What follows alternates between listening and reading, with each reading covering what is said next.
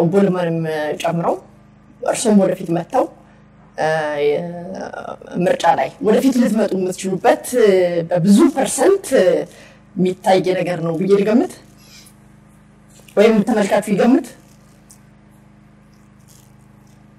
አይነግርም። ጊዜ ይወስናል።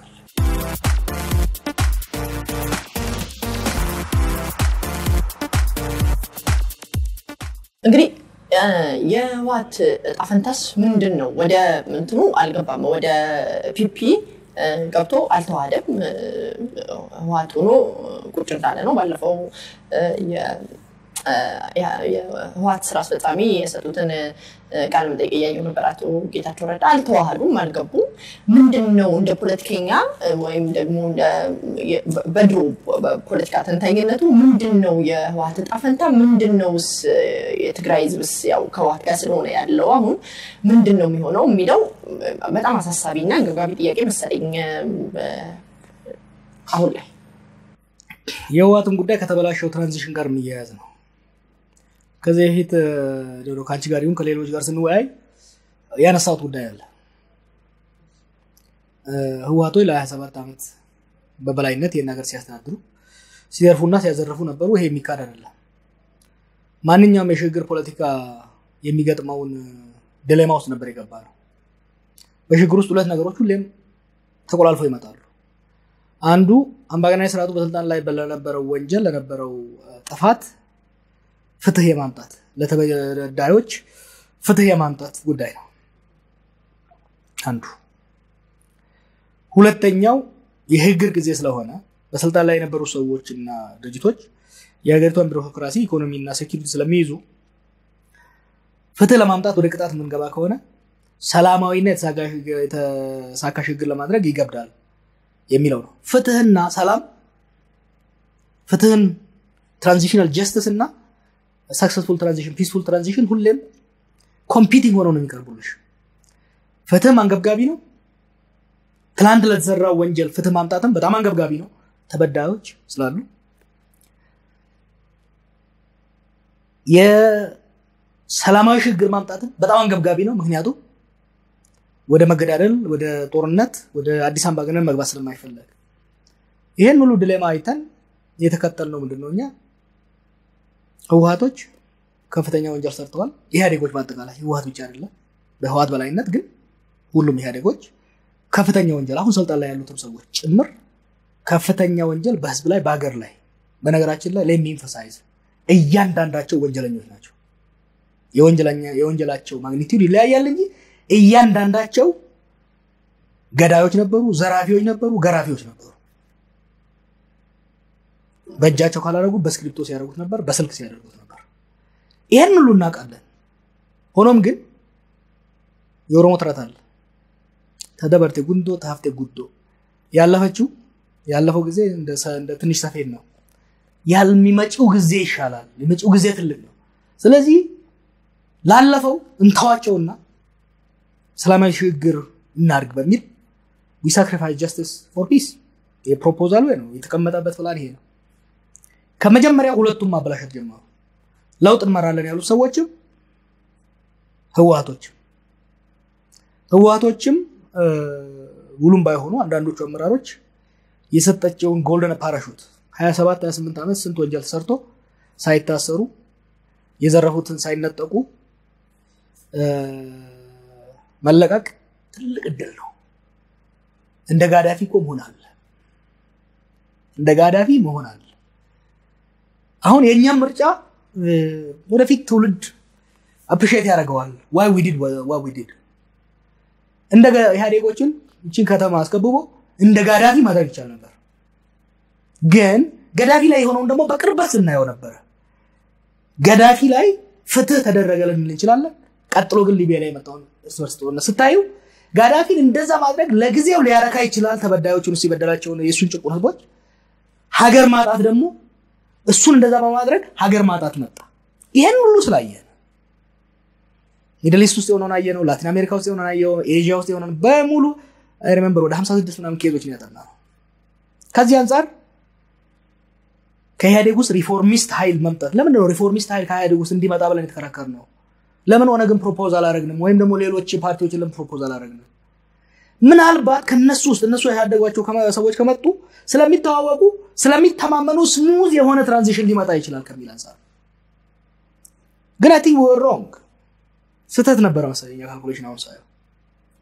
ህወሓቶችም grateful አልነበሩ ይመኑ እንጂ አቶ ጀዋር ወይ ተሳስቻለሁ ተሳስተናል ይበሉ? ተጸጽቻለሁ ይበሉ? አልበለዚያ አይ ምንም ምንም አይደለም ወይ በሉ? ይዘሽኛል።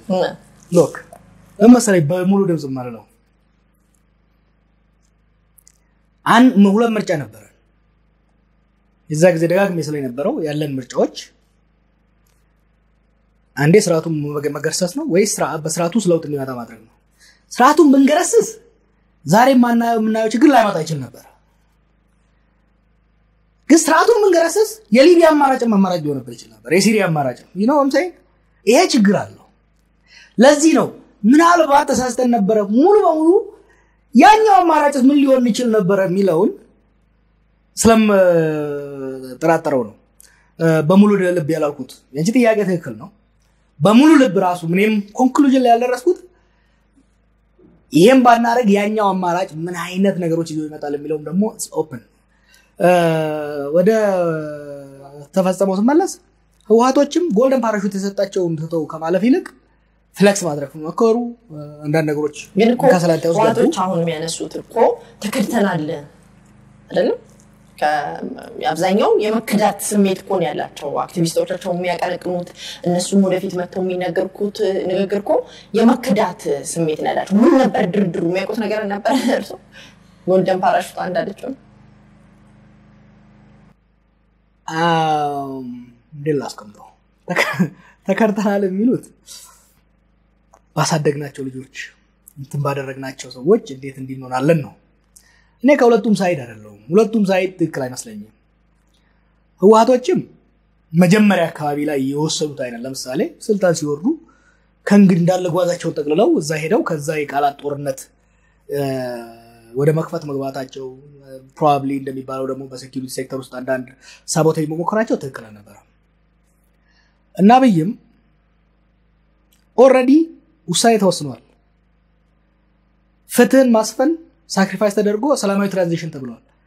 ከዛ በኋላ ከነሱ ጋር የቃላት ጦርነት የተለያየ አይነት ሰጣ ገባ ውስጥ መግባት አላስፈላጊ ነበረ። ተከድተናል ካሉ በኢህአዴግ ውስጥ እንግዲህ የውስጥ ነገራቸው ሊኖር ይችላል። ግን የነበረው ተከድተናል ሊያስብል የሚችል ነገር ብዙም አይታየኝም። በኢህአዴግ ውስጥ ከሆነ አሳድግ አንድ በጣም አሮጋንት የሆነ አካሄድ አለ እዚህ ሀገር። ስልጣን የሚይዙ ሰዎች መተው ያለባቸው። ይሄን አድርገንልሃል። ለምሳሌ ደሞዝ ከፍሎ ደሞዝ ከፈልኩ የሚል ሰው አለ እዚህ ሀገር። በግብር በተሰበሰበ ገንዘብ ለአንድ ሰራተኛ ደሞዝ ስለጨመርሽ ምን ምስጋና ያስፈልገዋል? ህዋቶች አሁን ኦህዴዶችን ብአዴኖችን እንዴት ያቸዋል መስል እኛ ከዚህ ሰብስበን እንዲያሳድገን እንዲያሳድገን እነሱ ኦሮሚያና አማራ ክልል ሲቦጠብጡ የነበሩት?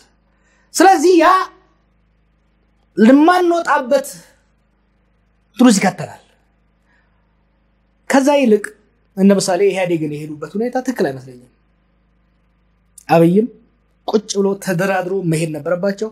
እነሱም ደግሞ የኢህአዴግን ጉዳይ እንደ ለምሳሌ የውህደት ጉዳይ ለምሳሌ የውህደት ጉዳይ እኛ ክርስቲያን የምናደርገውና እነሱ የሚያደርጉት ይለያያል።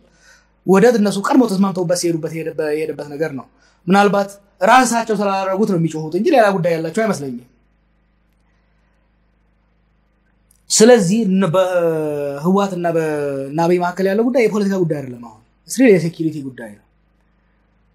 ወደ ጦርነት ሊያመራ የሚችል ነው። የሚሻለው ቢያደረጉት ነው። አሁን እነ አብይም የሚያደርጉት ሁሉን ነገር ነገራችን ላይ ህወሀትን መልሶ relevant ያደረጋት በኢትዮጵያ ፖለቲካ ውስጥ አብይ ራሱ ነው ህወሀት ከእንግዲህ የኢትዮጵያ ፖለቲካ ላይ ሊኖራት የሚችለው influence imminent በጣም በጣም ጥቂት ነው። credibility ያቸው በጣም የወረደ ነው። በቃ ጊዜያቸው አልፏል። ትግራይ ክልል ላይ የተወሰነ ጊዜ ሊቀጥል ይችላል። ህወሀትን በደንብ አድርጎ አጀንዳ መልሶ ያደረገው እነ አብይና የነሱ ቡድን ነው። ህወሀት ትግራይ ገባ ተደራድሮ እንደ ማንኛውም ክልላዊ አስተዳደር ከፌዴራል መንግስቱ ውስጥ የሚገባውን share አግኝቶ መቀጠል አለበት ትግራይ ክልል ከተመረጠ መልሶ። ከዛ ውጭ ግን የሚደረገው አሁን በተለይ ሰዎችን ለመተቸት ፓርቲዎችን ለመተቸት የሚያደርጉት ነገር መልሶ issue ኡን የተወሳሰበ እንዲያደርገው የሚያደርግ ጉዳይ ነው እና እንደ አጀንዳ ሆኖ መውጣት ያለበት ጉዳይ አይመስለኝም። እጣ ፈንታውን ነበር የጠየቁት። ምክንያቱም ወደ ውህደቱን አልፈጸመም። ወደ እናንተ ፓርቲ ይመጣል ወይ? እንደዛ አይነት ነገሮችን ሰምቻለሁ። ከእናንተ ጋር መጥቶ ይዋሃዳሉ ወይ? ካልተዋሃደስ ባይተዋር ሊሆን ነው ወይ? ኢትዮጵያ ፖለቲካ ውስጥ ምንድን ነው እጣ ፈንታው? ትግራይ ክልል ውስጥ ካሸነፈ ተመርጦ ካሸነፈ ትግራይ ክልል ያስተዳድራል። ትግራይ በፌዴራል መንግስቱ ሊኖራት የሚገባውን share ደግሞ ይኖረዋል። ለምን እንደ እነሱም እንደ የሞት ሽረት ጉዳይ እንደሚወስዱት አይታየኝም። አንድ ዲሞክራቲክ ስለሆኑ እነሱም እና አብይም አንድ ዲሞክራቲክ ስለሆኑ የመለስ አስተምሮ ከውስጣቸው አልወጣም። ሁለቱ በነገራችን ላይ አንድ አይነት ሰዎች እኮ ናቸው። እና አብይም ካልተቆጣጠርናችሁ የሚያደርገው የሚሉት ነገር አንድ ዲሞክራቲክ ነው። ፌዴራል በፌዴራል ስርዓት ውስጥ አንድን ክልል ከ central ካለው ገዢ ፓርቲ የተለየ ፓርቲ ማሸነፍና መግዛት it's democratic። ህወሓት ትግራይ ውስጥ ካሸነፈ ትግራይን autonomously ያስተዳድራል። ፌዴራል መንግስቱ share ኡን ይወስዳል። የፌዴራል መንግስት ደግሞ በፌዴራል ስርዓቱ በህገ መንግስቱ በተቀመጠለት መልኩ ስልጣኑን ትግራይ ክልል ላይ ይፈጽመዋል። ልክ ሶማሌ ላይ እንደሚያደርገው ኦሮሚያ ላይ እንደሚያደርገው። ስለዚህ ጦርነትን ምን አመጣው? ስለዚህ ህወሓት የሚቀጥለው ምርጫ ካሸነፈ ትግራይ ክልልን ያስተዳድራል። ፌዴራሉ ስልጣን የሚፈልግ ከሆነ ወይም ደግሞ የ coalition መፍጠር ከፈለገ ከሚያሸንፉ ጋር ይፈጥራል። አሁን ባለው ሁኔታ ግን ከሌላ ጋር coalition መፍጠር የሚችል አይመስለኝም። ምክንያቱም እዚህ የኢህአዴግ ውስብስብ ውስጥ ገብቶ መንደባለል መጨቀየት የሚፈልግ ተቃዋሚ ፓርቲ ያለ አይመስለኝም። ይጨርሱት እነሱ በራሳቸው ነገር ግን ወደ ጦርነት መሄድ የለበትም። የግድ ፌዴራል የማዕከላዊ መንግስት የያዙት ሰዎችም እጅ ካላሰጠናችሁ ክራሽ መደረግ አለባችሁ ማለት የለባቸው። እነሱም ደግሞ ከአቅማቸው በላይ ተንጠራርተው የፌዴራል መንግስቱን ማሽከርከር አለብን የሚለው ውስጥ መግባት የለባቸው። ከእናንተ ጋር ምን ድርድር አልቀዋል? ምንም ድርድር የለም። ስለዚህ ወደ እናንተ ፓርቲ አይቀላቀም። imagine? What? What? Oh, it'd be funny. what? what መጣ የኦሮሞ ድርጅቶች ጁኒየር ፓርትነር ሆና ስትሰራ been something ግን አይመስለኝም። አይቼዋለሁ፣ ፌስቡክ ላይ አይቼው ስስቅ ነበረ። ምክንያቱም ምክንያቱም I don't think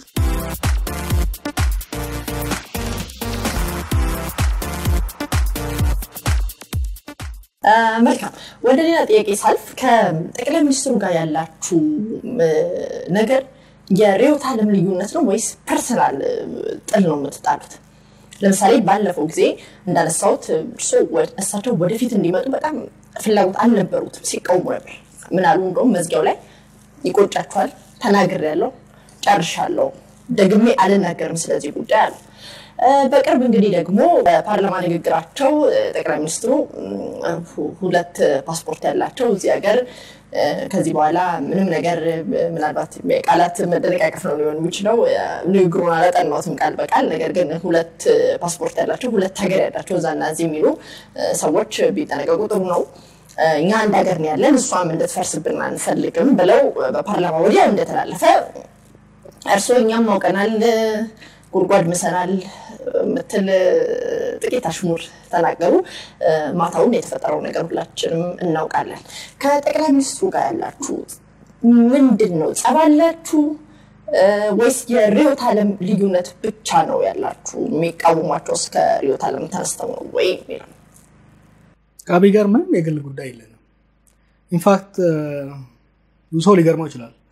በሀገራችን ካሉ ፖለቲከኞች ውስጥ ምናልባት በእድሜ ስለምንቀራረብ ይመስለኛል በ senior ደረጃ act ከምናደርገው ውስጥ በጸባይ በመግባባት ደረጃ በጣም ነው በጣም ተግባቢ ሰው ነው በነገራችን ላይ።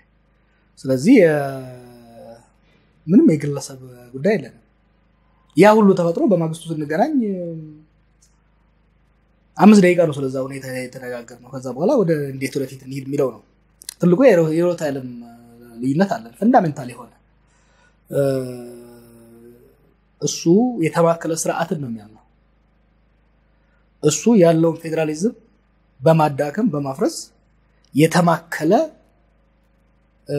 ፌዴራሊዝም በአንድ ማንነት ስር የተመሰረተ ፌዴራሊዝም የተማከለ ስርዓት አገዛዝም መሰረት ያቋቁመ ይፈልጋል። ይህም በነገራችን ላይ ዛሬ አይደለም ስልጣን ሳልይዝ ሳይይዝ ስንወያይ የተረዳሁት ጉዳይ ነው። ለዛ የተቃወምኩ ስቃወመው በነገራችን ላይ ብዙ ሰውን ከለማ የምንቀራረብ ይመስለዋል። ከለማ የበለጠ በግለሰብ ደረጃ ከሆነ ከአብይ ነው የምንቀራረበው፣ በግለሰብ ከሆነ አመለካከቱ ግን ለኦሮሞም ህዝብ ለኢትዮጵያም ህዝብ አይጠቅምም፣ አደገኛ ነው ብዬ ነው የማስበው። እኔ ማምነው አመለካከት እኔ ማምነው እዚህ ሀገር ሀገሪቷም ስትመሰረት በብሔር ግጭት ነው። ዛሬም የደረሰችው በብሔር ጭቆና ነው። ስለዚህ የብሔር እኩልነት መምጣት አለበት። የብሔር እኩልነት የሚመጣው ደግሞ ብሔሮች በቀያቸው ላይ በክልላቸው ላይ ሙሉ አውቶኖሚ ፉል አውቶኖሚ ሲኖራቸው ራሳቸውን በራሳቸው ሲያስተዳድሩ ራሳቸውን በራሳቸው ማስተዳደር ማለት በማንነታቸው ተደራጅተው ይሆነናል የሚለውን ሰው መርጠው ሲንቀሳቀሱ ኢትዮጵያ ውስጥ የ collective repression ነው ያለው። collective repression ን ልንወጣ የምንችለው ስሩ collective emancipation ነው። collective emancipation የሚመጣው ደግሞ collective organization ሲመጣ ነው። collective action ሲመጣ ነው። ኢትዮጵያ ልትጠናከር የምትችለው ጠንካራ ራስ ገዝ ራስን ማስተዳደር ሲኖር ነው። ከዚህ አንጻር ያሉትን የፌዴራል ክልሎች ማጠናከር ነው ያለብን። ያሉትን የብሔር ድርጅቶች ተጠናክረው በክልላቸው ላይ ተጠናክረው ማለት ማለት ነው ወታደራዊ ጥንካሬ አይደለም። በህዝቡ ውስጥ ተቀባይነት እንዲኖራቸው የህዝቡን ፍላጎት የህዝቡን የልብ ትርታ ማዳመጥ የሚችሉ አመራሮች በህዝቡ ይሁንታ ወደፊት እንዲመጡ ስናደርግ እነሱ ደግሞ በፌዴራል ደረጃ መጥተው በሙሉ አቁም በሙሉ አውቶሪቲ ሶማሌን ወክለው ወላይታን ወክለው ፌዴራል ስርዓቱ ሲሳተፉ ከፌዴራል ስርዓት ውስጥ ለህዝባቸው ይገባዋል የሚሉትን ተከራክረው ተደራድረው ሲያመጡ የዛ ህዝብ የክልላዊ ሉዓላዊነትም የብሔራዊ ተሳትፎም እየጠነከረ ይመጣል ባይ ነኝ። በማንነትም ደረጃ ኢትዮጵያዊ ማንነት ተብሎ የመጣው በአንድ side ወደ አንድ side ያጋደለ ነው። አብዛኛውን ወደ ደቡቡ ያለውን ህዝብ ማንነትና ፍላጎት አመለካከት ያንጸባረቀ አይደለም። እንዲያንጸባርቅ ከተፈለገ በአመት በሚደረግ የብሔር ብሔሮች ቀን መጥቶ ማስጨፈር ሳይሆን በክልላቸው ላይ በማንነታቸው እንዲያኮሩ እንዲያጎለብቱ የእነሱ ማንነት እኩል ተቀባይነት ተሰሚነት እንዲኖረው ማድረግ ይሄን ለማድረግ ደግሞ ራሳቸውን በዛው እንዲያደራጁ ማድረግ መቻል አለባቸው።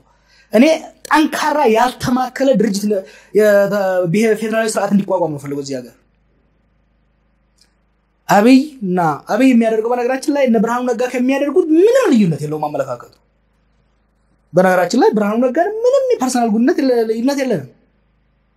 in fact I like ግን የእነሱ አመለካከት እነሱ ለዚች ሀገር prescribe አድርገው ይዘውት የሚሄዱት ይችን ሀገር ያፈርሳል እንጂ ያፈርሳል እንጂ አያጠናክርም ባይ ነኝ። በማንነት ደረጃ diverse የሆነ ግን complementary የሆነ ማንነት መመስረት እንችላለን ወደፊት። ይሄን ማድረግ የምንችለው ሰው ተበዘበዝኩ ያለው ተዘረፍኩ ያለው የአንድ ቡድን የበላይነት መጣ ማለቱን ማቆም አለበት። ይሄን ማቆም የሚችለው ደግሞ በቀየው ላይ ሙሉ ባለቤትነት መብቱ መቀመጥ አለበት። ይሄ ያለው ህገ መንግስት መናድ ማፍረስ ሳይሆን መሆን ያለበት ይሄን ህገ መንግስት ስራ ላይ ማዋል ነው ያለብን። ስራ ላይ የምናውለው እንዴት ነው? በቀየው ላይ ሰው ሰው መምረጥ ከቻለ ነው። አንዱ ከዚህ ጋር የሚመጣው ጥያቄ እና የነሱ በነገራችን ላይ ይሄንን ቅድም አንስተሽዋል። የዛሬ ሁለት ዓመት እኔ ስል ብዙ ሰዎች ቀንቶ ነው ምናምን ምናምን no I know what he's thinking because we talked ይህ ማለት ጠላቴ ነው ማለት አይደለም። የእሱ አመለካከት ስህተት ነው። እሱ የሚፈልጋትን የሚያልማትን ኢትዮጵያ አያመጣም። in fact ያጨናግፋል። አሁን ያን የስፈራ የነበረውን በፓርቲ ይዞት መጣ። ስንጠይቃቸው ፒፒዎች ምንድን ነው የሚሉት? ለምን አይ በጣም ስርዓቱ ስለተፈራረሰ ጅጅጋ ላይም ሰው መሾም መቻል አለብን፣ ባህር ዳር ላይም እኛ መሾም መቻል መቻል አለብን የሚል ነገር ነበረ። ይባስ ብለው መተዳደሪያ ደንብ ውስጥ አስገቡት። ሶማሌ ክልልን የሚያስተዳድር ፓርቲ የራሱን ሀለቃ መሻርና መሾም ካልቻለ ያ ማለት ክልሉን እንደፈለገው የመረጠውን ህዝብ ፍላጎት ብቻ ማዕከል አድርጎ ማስተዳደር አይችልም ማለት ነው። ያ ማለት ቀስ ብሎ ያ የተማከለ የደርግ ስርዓት ይመጣል ማለት ነው። አህዳዊ ስርዓቱ ይመጣል። አህዳዊ ስርዓቱ ሲመጣ ህዝቦች በአብሮ መኖር ላይ ተስፋ እየቆረጡ መነጣጠልን እንደ ትልቅ ዓላማ መልሰው በአዲስ መልኩ ይዘው የሚወጡበት ሁኔታ በእርግጥ ግን እርስዎ እንደሚያስቡት ኢትዮጵያ እንደ ሀገር ትቀጥላለች ከዚህ ሁሉ ጊዜ በኋላ? it all depends እኛ የምንሰራው ላይ አንዱ የማይመቸኝ ነገር አለ። አሁን አብይ የሚለው ኢትዮጵያ አትፈራርስም፣ ትፈርሳለች አትፋርስም ምለው ራሱ ለምን መጣ? ኢትዮጵያ በመፈክር አትፈርስም፣ በመፈክር አትቀጥልም። በስራ ነው መቀጠል የምትችለው መፈርስም የምትችለው። ምልክቶች የእኛ ስህተት የመፍረስ ምልክቶች አይደሉም ወይ? አሁን የምናያቸው አይደሉም አይደሉም። በነገራችን ሰው ግን አብሮ መኖር እኮ እየተቻቻለ አይደለም። ድሮ በአፈሙዝ አፍነሽው ሰው ዝም ብሎ ቁጭ ብሏል። liberalization የፖለቲካ ምህዳሩን ስታሰፊው አንዳንድ ጥራዝ ነጠቅ የሆኑ ሀሳቦች ይመጣሉ። እነዛን ሀሳቦች ሰብሰብ ማድረግ የሚቻለው ዲሞክራሲያዊ ስርዓት በማስፈን ነው። በነገራችን ላይ እኔና አንቺ መጀመሪያ ስንወያይ ስንወያይ የነበረው ስለ anarchy ነበረ። ህገወጥነት፣ ስርዓት አልበኝነት ኢትዮጵያ ውስጥ ተባባሰ ነው። በጣም ቀንሷል አሁን ያ። ምክንያቱም መጀመሪያ እንደተፈታ ህዝቡ ገመድ እንደበጠሰች ጥጃ በጣም ሮጠ። ሮጦ ደግሞ እዚህም ሄዶ እዛም ተጋጨ። አየና አሁን ህዝቡ እዚህ ሀገር አሁን ሰላም የሰላም ዘብ የሆነው መንግስት ተጠናክሮ ምናምን አይደለም። ህዝብ ራሱ የነፃነትን ገደብ ራሱ እያበጀ መጣ። ስለዚህ ኢትዮጵያን ለአደጋ የሚጋለጠው አንደኛ የቀድሞውን አምባገነናዊ አፈና ስርዓት መልሳለሁ። አሁን ብዙ ጊዜ ሰማቸዋለሁ። እኔ አንዳንዴ ብዙ ሀገሮቹ ስላየሁት የሌሎች ሀገሮችን ስህተት ስንደግም ይታየኛል። አሁን ሰው መንግስት የለም ወይ መንግስት የለም ወይ እዚህ ጋር ለምን አልታፈንም እዚህ ጋር ለምን አልታሰረም ኖ ከእንግዲህ በኋላ አፍናለሁ፣ አስራለሁ፣ ረግጣለሁ ብሎ የሚሄድ መንግስት እያፈረሳት ነው የሚሄደው። አንደኛ አምባገነናዊ ስርዓት ነው። ሁለተኛ አህዳዊነት ነው። እዚህ ሀገር ውስጥ ከእንግዲህ ወዲያ አዲስ አበባ ላይ በሚደረግ ፈላጭ ቆራጭነት ጅጅጋን አስተዳድራለሁ፣ መቀሌን አስተዳድራለሁ፣ ባህር ዳርን አስተዳድራለሁ ብሎ የሚያስብ ሰው he's out of his mind። ህዝቦች በራሳቸው ክልል ላይ full autonomy ኖሯቸው በህገ መንግስቱ መሰረት ማዕከላዊ መንግስት ላይ የሚገባቸውን ድርሻ በድርድር በክርክር በህገ መንግስቱ መሰረት ካገኙ ጠንካራ ፌዴራላዊ አንድ ሀገር ማስቀጠል ይቻላል። ያ አይደለም አዲስ በሚል ስም ስሙን ቀይረን አብዮታዊ ዲሞክራሲን የምናመጣ ከሆነ ስሙን ቀይረን አህዳዊነትን ለመመለስ የምንሞክር ከሆነ ለመፍረስ ያለው እድል በጣም ትልቅ ነው። ምክንያቱም ህዝቦች እስካሁን ያገኙትን መብት እስካሁን ያላቸውን ተቋማዊ ብቃት ተጠቅመው አሰርት እያደረጉ ይሄዳሉ። ቅድም አሁን ያነሳሽው የትግራይ ጉዳይ አለ። አሁን ትግራይ ተገነጠለች ተገነጠለች እያለ በሰው ያወራል። ለእኔ የዲሞክራሲ ስርዓቱ ነው። ከእነሱ ጋር በመደራደር በመወያየት እነሱም ለህግ ተገዢ እንዲሆኑ በህገ መንግስቱ እነሱም በህገ መንግስቱ የተቀመጠላቸውን ከፌዴራል ስርዓቱ እንዲያገኙ በማድረግ ማስቀጠል ነው። ከዛ ውጭ ሄደን እናፈናቸዋለን ካልሽ አቅም የለም። እነሱም መጥተው እንደ ትናንትናው እየዘመትን ሽርጥ አንጠልጥለን መተን ከተማ እንገባለን አይቻልም። ያ ማፈራረስን ያመጣል ማለት ነው። የሚያወጣው ምንድን ነው? ራሳችንን ለህዝብ አስገዝተን ወደ ዲሞክራሲ ስርዓት መሸጋገር ነው። እንግዲህ ሌላው ፕሮፌሰር መራራ ጉዲና ጋር አንድ ፓርቲ ይሆናቸዋል አሁን። ነገር ግን እሳቸው አንድ ጥናታዊ ጽሑፍ ሲያቀርቡ ባለፈው ጊዜ ላይ ምን ብለው ነበረ? ከባላድራው መንግስት ጋር ከእስክንድር ነጋ ጋር ጀዋርም አንድ አይነት ነው፣ ተመሳሳይ ነው ብለው ጥናታዊ ጽሑፍ አቅርበው በጣም የኦሮሞ ብሔርተኞችን አስቆጥተው ነበር። እንዴት ትዘዱታላችሁ? እንደዛ አላለም። አይቼዋለሁ commentary ው እንደዛ አይደለም ያለው context ኡ። መረራ አባታችን ከፍተኛ ምሁር ነው። ከእሱ ጋር በጣም almost አስራ ምናምን ዓመት I think ሁለት ሺህ አምስት ከሲንጋፖር ስመለስ ከዛ በፊት ጽሁፎቹን አነብ ነበረ እዚህ high school እየተማርኩ ስመጣ ነው ያገኘሁት። ከሲንጋፖር ስመጣ ያኔ ምርጫውን አጭበረብረውባቸው ድርጅቱን የነጠቁ ሰሞን ነው። ከዛም አሜሪካ ያገኘ ነው። መረራ በጣም ግልጽ ሰው ነው። የፈለገውን ያሰበውን ነገር ከመናገር ወደኋላ አይመለስም። አንዱ እሱ የሚያስማማ፣ ሁለተኛ ከ political science background ስለመጣ ብዙን ነገር share እናደርጋለን። ዓለምን የምናይበት ሁኔታ ጠንካራ ህብረ ብሔራዊ ፌዴራላዊ ስርዓት እንዲመሰረት ደግሞ ጋለው አቋም እንስማማለን። እንደ አባት ደግሞ አጠፋው ዛሬ ብቻ አይደለም፣ በነገራችን ላይ ሁሌ ነው የሚገስጸኝ። ከዚህ በፊትም ኦሳ ላይ አልፎ አልፎ ሾጥ ማድረጉን አይተውም። መራራ ሾጥ ያላረገው ሰው መቼም ቁም ነገረኛ አይደለም ማለት ነው። ሀገር ጠቅላይ ሚኒስትሩ መራራ ይናደፋል ብለዋል። መልካም እንግዲህ ወደ መጨረሻው ጥያቄ እየሄድኩ ነው።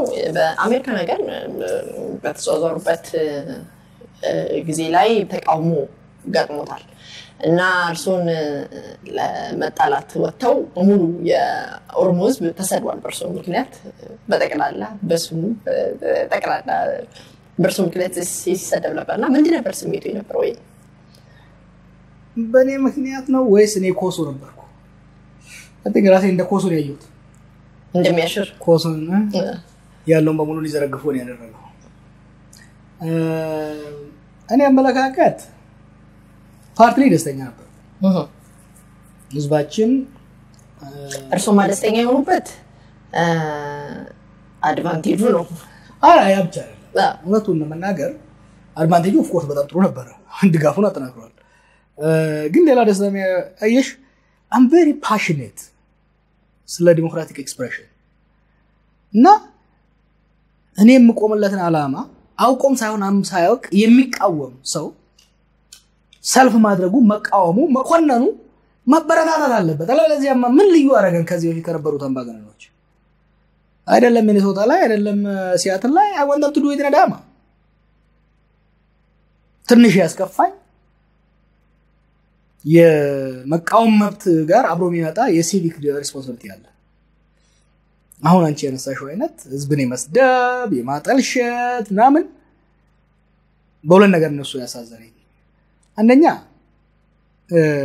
ህዝቡን ያስቆጣል፣ ሁለተኛ የእነሱን ዓላማ አጠለሸባቸው። ለምሳሌ አንድ አሸባሪ ስብሰባ ውስጥ አለ ብለው ሰው የፖሊስ ጠሩ ነበረ።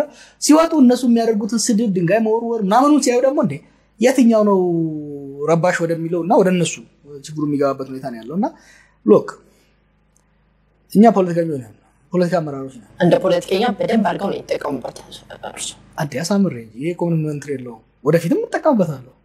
እኔ ከዚህ በፊት እኮ ብዬዋለሁ።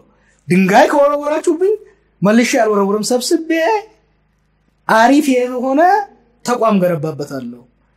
ድሮ ሲወረወረብኝ ወይም የሰራሁበት፣ አሁን ደግሞ ጠንካራ የሆነ የ political party ከዛ በኋላ ጠንካራ የሆነ መንግስት እንሰራበታለን።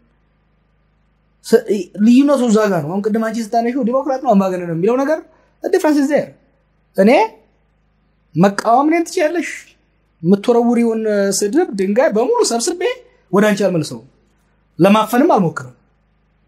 politically bankrupt አድርግሻለሁ። 'cause ያለነው በፖለቲካ ምህዳር ውስጥ ነው። ለዚህ ነው ጨዋታችንን ከፖለቲካ ምህዳር ወደ security ምህዳር አናውጣ።